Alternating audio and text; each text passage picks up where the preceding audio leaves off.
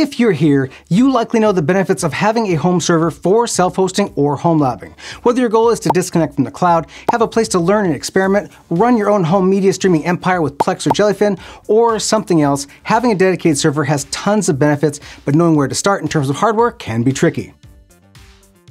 Welcome home labbers and self-hosters, Rich here.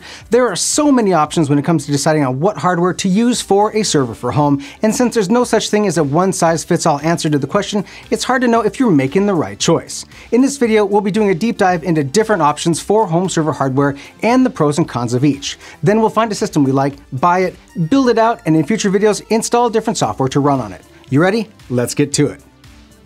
Computer architecture is the logical place to start here because knowing the benefits and limitations of a CPU architecture will have an effect on the direction you decide to go. So let's talk about the pros and cons of each and why you might choose one over another. In the world of computing, there are two major CPU architectures that we use every single day, x86 and ARM.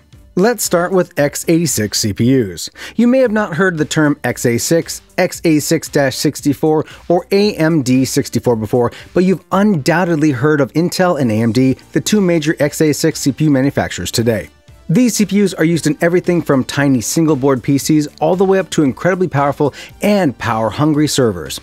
First pro is compatibility x86 CPUs are widely used and supported by most server and desktop operating systems, applications, and software.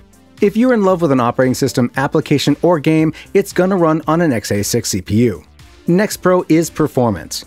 x86 CPUs have a long history of development and optimization, and they can handle complex tasks quickly and efficiently.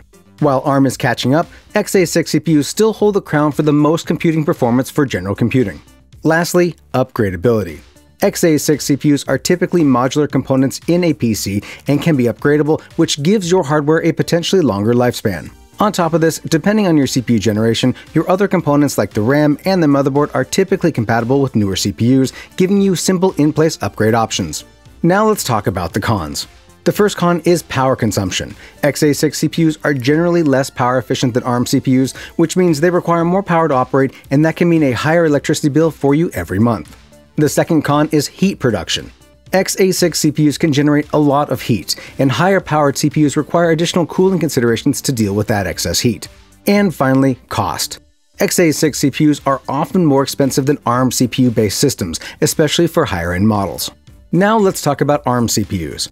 ARM CPUs aren't typically made available to buy and drop into a motherboard like x86 CPUs from Intel or AMD. The company that owns the intellectual property for ARM licenses its processor designs to other companies, which then integrate them into their own products. For example, the mobile phone in your pocket runs on an ARM processor specially designed for your phone. In terms of a home server, this means you're looking at an SBC or single board computer like a Raspberry Pi or a Rockchip based system. Anyway, let's get to the pros of ARM based systems. The first pro is power efficiency. ARM CPUs are designed to be energy efficient, which makes them ideal for use in low-powered applications like IoT devices, mobile phones, and low-powered computers. The next pro is cost. ARM CPUs are often less expensive than x86 CPUs, especially for low-end systems. And now on to the cons of ARM-based systems. First off, compatibility. ARM CPUs are not as widely supported by desktop operating systems, applications, and software. And depending on the design of the SoC or system on chip, you may have very few options in what you can run on it. Next is performance. ARM CPUs are not as powerful as x86 CPUs for complex computing tasks. ARM CPUs are constantly improving and are suitable for most everyday computing needs, but outside of Apple's ARM CPUs, heavy computational workloads will struggle. And lastly, upgradability. Because ARM-based systems are typically designed for a specific purpose, you cannot upgrade the CPU, RAM, and in some cases the storage on an ARM-based computer. There are more than just x86 and ARM architectures available these days, but the reality is that the up-and-coming architectures like RISC-V aren't yet as well adopted or performant enough to really hold their own. This will likely change in the future, but even then, x86 and ARM will still be big players in the space. Which decision you make here is going to depend on your plans for your home server. If power consumption is concerned, ARM-based systems will always give you the best performance per watt, though there are some x86 CPUs on the market from Intel, like their Atom and Celeron CPUs, that are power efficient. If your objective are maximum compatibility and high performance, you'll do best with going something x86 based. For our needs, we're going to choose x86 here because we want power and performance. Okay, Now that we've worked out what our architecture for our server is based on, let's talk about form factors. The term form factor refers to the physical size, shape, and layout of a device or component. It basically describes how the hardware is designed and built. Different computer components such as motherboards, power supplies, and cases have different form factors that dictate their size and shape. For example, a desktop computer might have a form factor that's designed to fit a specific size of motherboard, while a laptop might have a form factor that's optimized for portability. Your decision on form factor will affect things like your upgradability and performance. For the sake of simplicity, let's narrow down the myriad of different types of form factors into three buckets, small, medium, and large. Small being small form factor PCs, medium being desktops and tower servers, and large being rack-mounted server gear. Let's go over the pros and cons of each. Let's start off with the small category.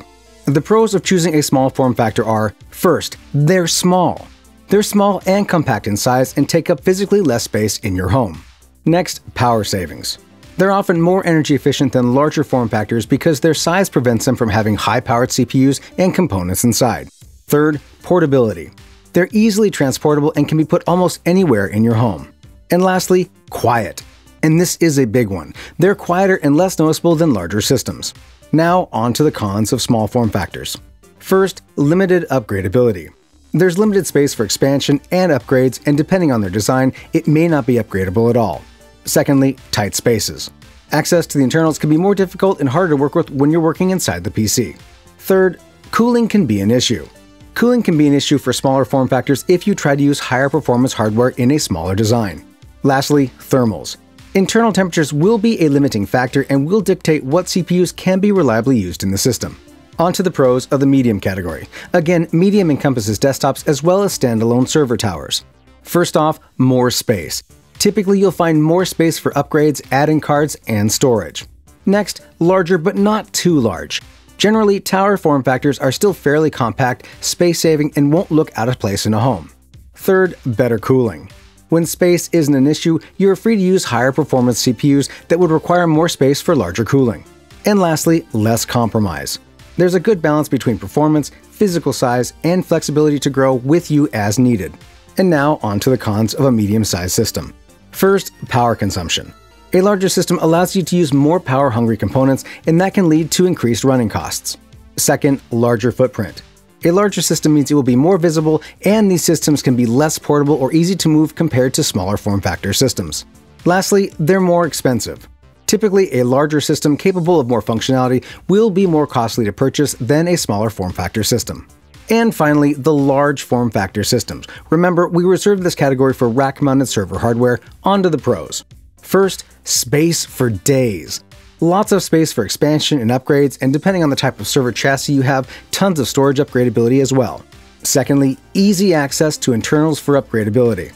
Generally, rack servers are the easiest to work with because the entire top opens to provide access within. Third, density. You can pack a lot of power into a relatively compact space in a server rack. Lastly, and this is my favorite, hands-on experience with server gear. If part of your plan for your home lab is learning and working with server gear, having it at home solves that for you and gives you first-hand experience with it. This is very valuable if your home lab is focused on elevating your career. Now let's get to the cons. First, space.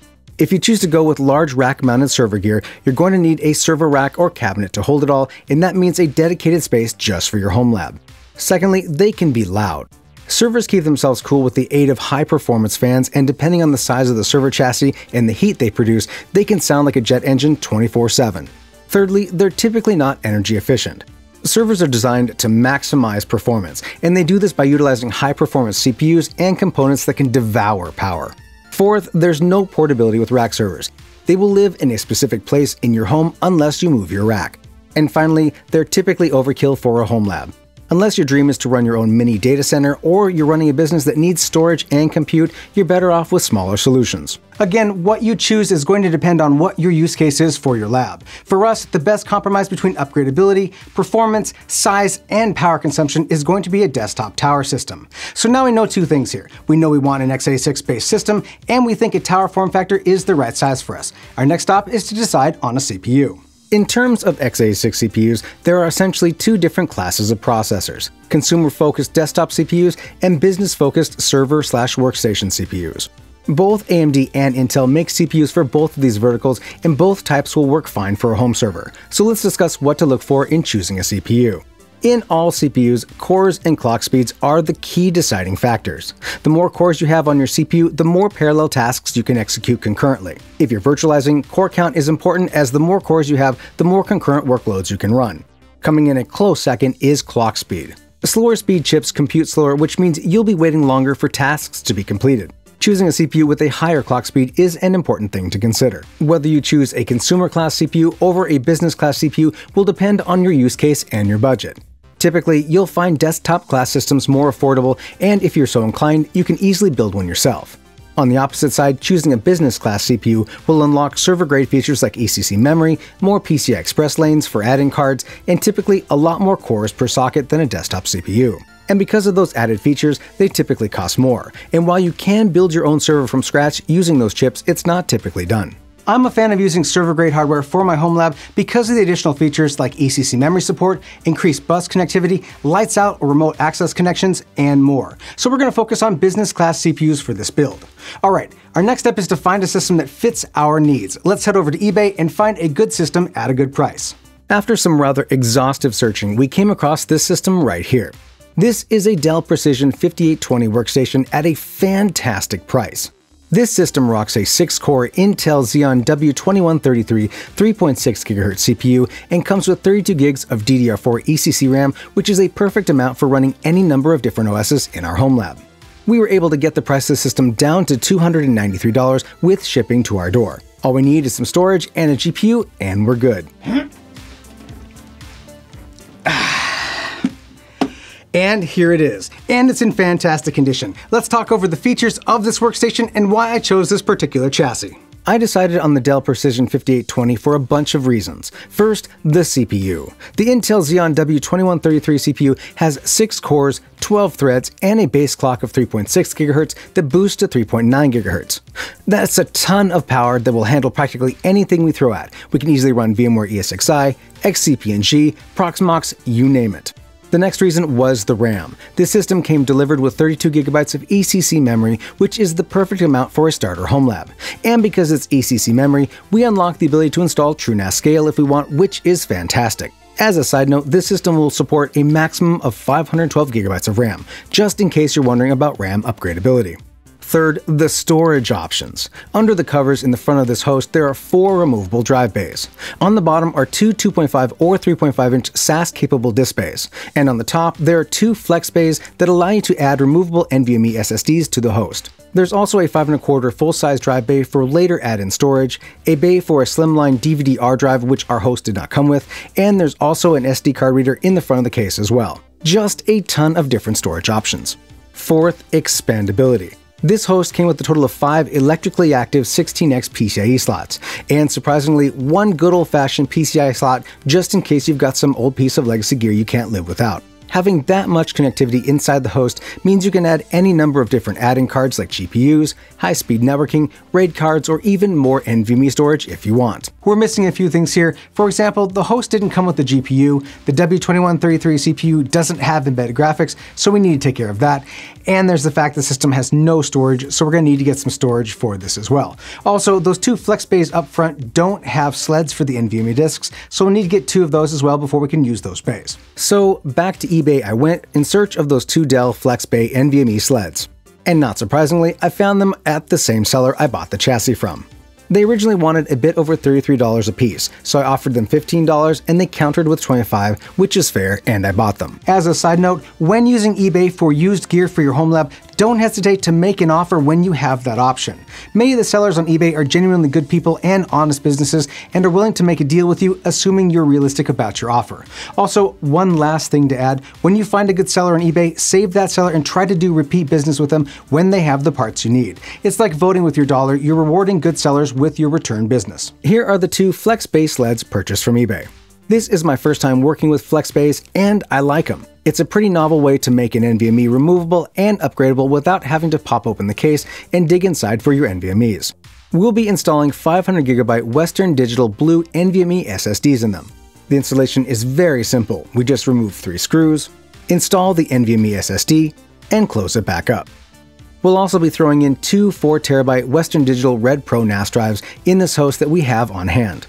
If you have spare disks lying around, you could also use those for storage. Installing the mechanical hard disks into the sleds is also super easy since these are screwless sleds. You just pop the drives into the sled, making sure the pins on the rubber grommets slip into the screw holes on the drives, and you're done. And finally, we needed a GPU. Luckily, I had an old AMD RX 580 laying around that will now find a new home in this server. This card, minus its fan shroud, is an old PowerColor Red Devil with 8GB of RAM. It was a great card back in the day, and it'll work well for this home server. Installation is just like any other computer. We'll just drop it into the first PCI Express slot on the mainboard and plug in its power connections, and away we go. The Precision 5820 has two 6 plus 2 PCI Express power connectors just for GPUs, so if you're considering putting in a beefy graphics card, it'll handle it. Okay, GPU mounted, flex bays inserted, hard disks inserted, that's all there is to it. Let's talk about the total price since I'm sure I'll get some flack for all the extra stuff I had on hand, and I think that cost transparency is important here. The chassis cost me $293. The two FlexBay sleds cost $50. The two WD Blue 500GB NVMe's were $62. The two Western Digital Red Plus 4TB drives were $130, and the RX 580 off of eBay goes for around 80 bucks, making the grand total for this build $615, or the going price of three Raspberry Pis. I'm kidding. Whenever you get a chassis like this, before you put it back into service, I recommend doing some maintenance like blowing out dust in the system and replacing the thermal paste on the CPU. This system was built in March of 2019, making it four years old, which isn't bad at all. But it's enough time on the clock that I wanted to replace the thermal paste on the CPU. And it's a good thing that I did. When I pulled the heatsink off the CPU, I found the old thermal paste had become dry and hardened, which means less quality cooling. And it's easily fixed. We just popped the CPU out, cleaned off the chip and the base plate of the HSF, and applied our favorite thermal paste Arctic MX6. We're using the three-line application method here, but consider using a complete spread if you're a completionist. Once that was done, we reattached the HSF, replaced the air ducting, and booted the system. And our new home server booted right up without issue. Once in the UEFI BIOS, we had to look around to make sure that all of our added hardware, like the NVMe's and the mechanical SATA disks, were detected and available, and that any additional features we wanted to use, like virtualization support, were enabled. Everything is healthy and ready to serve awesome. I am so excited to get this system up and running. Now, $615 may be out of your budget for your server, but I'm hoping that the discussion in this video has helped you come close on what you want to choose for your home server. Either way, I'd love to know your thoughts and if this video was helpful.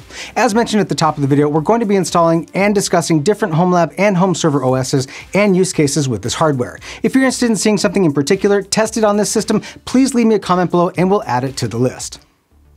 And that, friends, will do it for this video. If you enjoyed it, throw us a sub or a like, and if you have a beef with anything I said, get down those comments and let me know. And now that you've finished watching this video, how about checking out our home lab and virtualization playlist over here? If you're looking to get into home labbing or self-hosting, we've got you covered.